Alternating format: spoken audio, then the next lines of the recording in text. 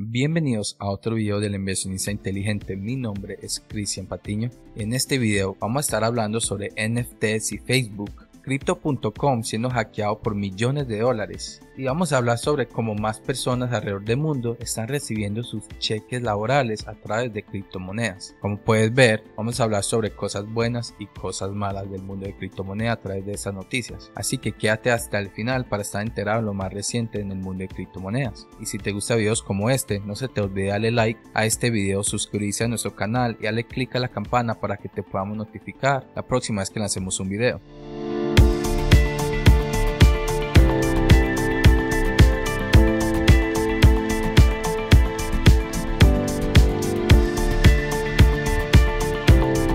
Los avatares de NFTs podrían llegar a Facebook y Instagram. En este primer artículo vamos a ver cómo los NFTs se están volviendo más relevantes todos los días. Recuérdese cómo era cuando las personas empezaron a adoptar las criptomonedas, aunque aún estamos en ese proceso. Creo que menos del 3% de las personas alrededor del mundo usan criptomonedas y tienen una billetera abierta. Ahora imagínense qué porcentaje de las personas tienen un NFT, algo que es tan nuevo que solo ha estado por un par de años. Va a tomarse su tiempo para que se pueda adoptar entre las personas comunes y para poder utilizarlo de manera que en verdad tiene sentido las personas tenerlo. Porque en este momento, aunque es bacano ver noticias como estos que NFTs, que vamos a poder utilizar nuestros NFTs como perfiles a través de diferentes plataformas, aunque yo honestamente pensé que eso ya se podría hacer porque veo que muchas personas los hacen, pero vemos que lo están adoptando de diferentes maneras. Y aquí nos dices, tiene un avatar NFT, es posible que pronto puedas mostrarlo con orgullo como tu foto de perfil en Facebook o Instagram.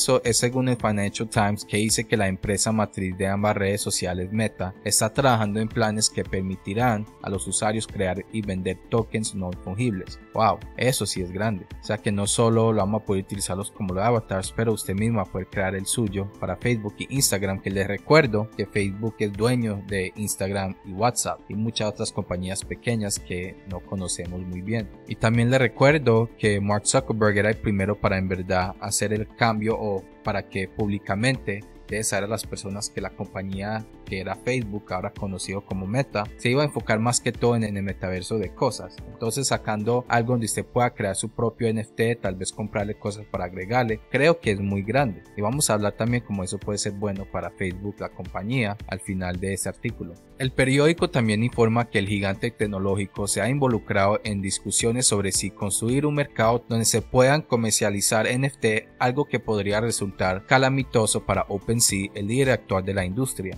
Todo esto ocurre meses después de que Facebook anunciara que cambiará su nombre a Meta, lo que refleja el enfoque renovado de Mark Zuckerberg en el metaverso. El FT enfatizó que todos los planes que rodean a los NFTs son fluidos y están sujetos a cambio. Tanto Facebook como Instagram han sido fuente de ingresos, generando miles de millones de dólares en publicidad. Wow, eso es mucha plata. Pero la llegada de nuevas redes sociales y la disminución de, la popularidad de ambas plataformas están impulsando a Meta a buscar nuevas fuentes de ingresos. Con los volúmenes de negocio mensuales de OpenSea batiendo records, aunque solo estamos a mediados de enero, las NFTs podrían ser el siguiente paso lógico. Y aquí terminan diciendo que obviamente van a haber sus riesgos con todo eso. Y aquí abajo preguntas sobre la criptomoneda. Y antes de hablar por qué esto es grande para Facebook, aquí abajo nos habla sobre las criptomonedas que ellos ya habían planeado lanzar y cómo le ha ido con eso. Meta ha chocado contra pared tras pared mientras intenta lanzar su propia moneda digital.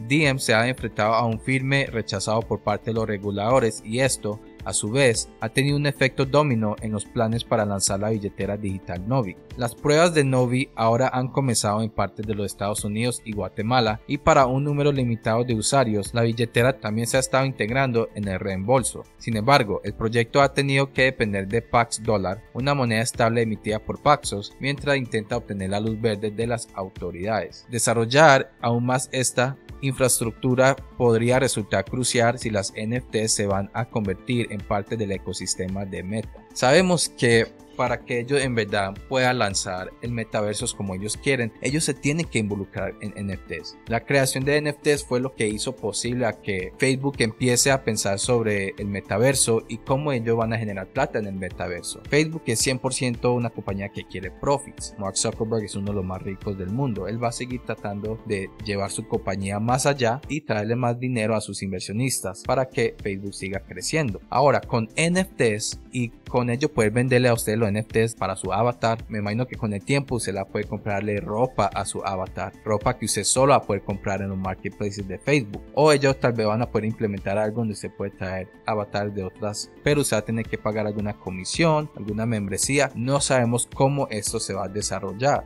Como hemos visto con Facebook, además que va a ser gratis para usted poder entrar y estar en el metaverso. Pero tal vez si usted quiere comprar cosas para su avatar, así van a ser maneras que ellos no van a poder sacar plata a nosotros. Y no solo eso, pero ellos van a seguir ganando plata de la manera que ellos saben cómo hacerlo mejor, que es la publicidad a compañías. Mientras que usted esté en el metaverso y mientras que ellos te sigan dando cosas que te hacen querer estar en el metaverso, como ellos hacen con Facebook, compañías van a estar incentivados a pagarle a Facebook para poder publicar sus cosas, como lo hacen en este momento. Cosas así solo ayuda a que la tecnología como criptomonedas, blockchain, NFTs sigan avanzando. Y aunque siempre lo hacen para que nuestra forma de vida sea mucho más fácil, entienda que siempre va a haber alguien al otro lado ganando de todas las cosas que usted está disfrutando. Nada es gratis y un buen dicho es que si usted no sabe qué producto le están vendiendo es porque usted es el producto. Piensen en eso. Hablemos sobre crypto.com y la hackeada que afectó a 483 usuarios y fueron robados por 33 millones de dólares. Aunque la tecnología es muy buena, recordemos que esas cosas son relativamente nuevas, solo llevamos 10, 12 años. Piense cuánto tiempo ellos han estado tratando de perfectar el sistema financiero, los, los débitos, los créditos y hasta con eso aún tenemos fraudes hoy en día. Por eso toma mucho tiempo para que en verdad las regulaciones para cosas como criptomonedas avancen, porque ellos no van a crear algo donde ellos públicamente van a decir que ellos van a dominar o van a crear su propio stablecoin pero tampoco pueden dejar las cosas tan abiertas porque hay muchos y muchos hackeos y estamos viendo cómo países alrededor del mundo todos los días están haciendo cosas para reducir esos hackeos. Hay países que están baneando criptomonedas completamente para no tener problemas como estos. Vamos a ver quién los que nos dicen.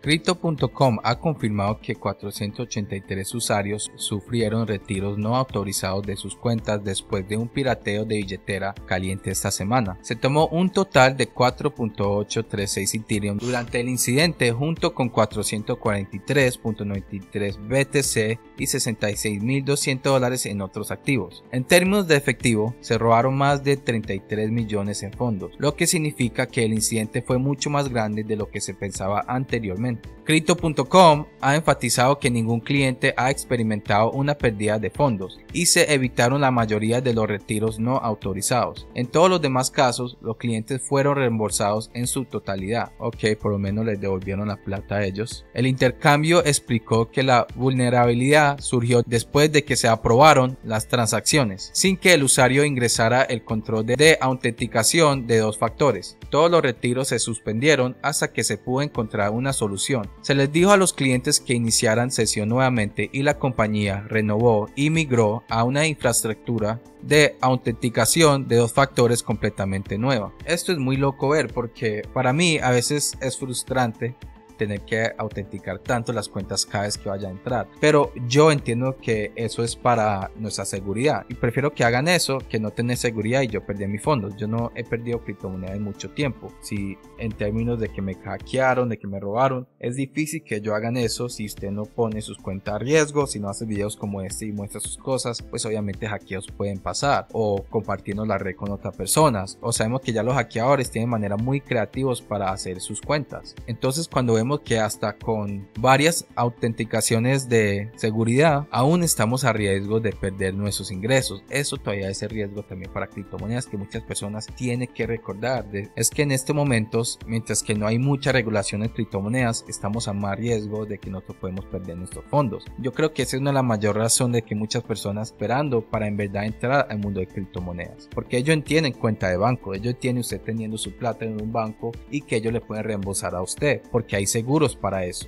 porque los gobiernos le dan seguros para eso. Pero con criptomonedas, si ellos hackean un exchange, 99.9% de las veces ellos no van a reembolsar a usted nada. Eso es uno de los riesgos que ellos le dicen a usted que usted tiene que tomar el momento de abrir una cuenta con ellos. Aún yo tengo mucha plata en criptomonedas y en diferentes exchanges. Yo tomo el riesgo, pero, pero uno siempre tiene que recordar de que riesgo sí está ahí. Vamos a ver qué cambio hicieron ellos para que eso no vuelva a ocurrir. Los usuarios ahora deben esperar 24 horas para completar su primer retiro después de agregar una nueva dirección en la lista blanca, y las notificaciones ayudarán a alertar a los titulares de cuentas si agrega una dirección sin tu consentimiento.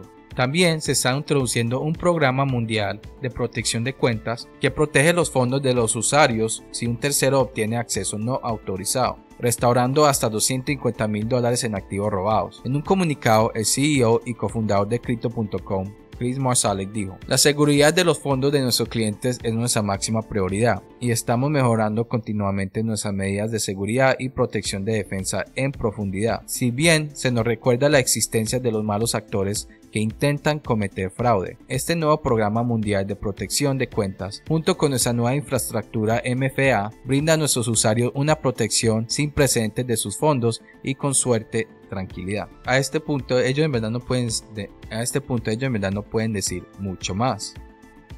Porque, ¿qué pueden hacer ellos cuando hay gente que hackea bancos, que hackean cuentas privadas de los de políticos más grandes alrededor del mundo, los Estados Unidos. Si ellos tienen forma de seguridad, ellos cómo se van a proteger con eso. Y en algo especialmente como cripto, donde personas todos los días se están dando cuenta de cosas nuevas que ellos pueden hacer. Y eso incluye hackeadores. Noticias como esta no es para que le dé miedo, del mundo de criptomonedas. Obviamente este canal no se trata de eso, de darle miedo, se trata de usted antes meterle en cripto, en diferentes tipos de inversiones, acciones, dividendos, para que usted tenga un mejor futuro financiero. Pero siempre hay que recordar que hay un nivel de riesgo. Y si usted se recuerda eso, usted siempre va a tratar de hacer lo más que pueda para que usted tenga seguridad en sus inversiones. Y eso es lo único que yo quiero para ustedes. La próxima cosa que vamos a hablar es sobre el alcalde de Nueva York recibiendo su primer cheque de pago criptográfico. Nosotros ya hemos visto como varios atletas en diferentes deportes han recibido sus pagos en criptomonedas o lo han pedido. Hay ejecutivos en algunas compañías que ya están recibiendo sus pagos en criptomonedas.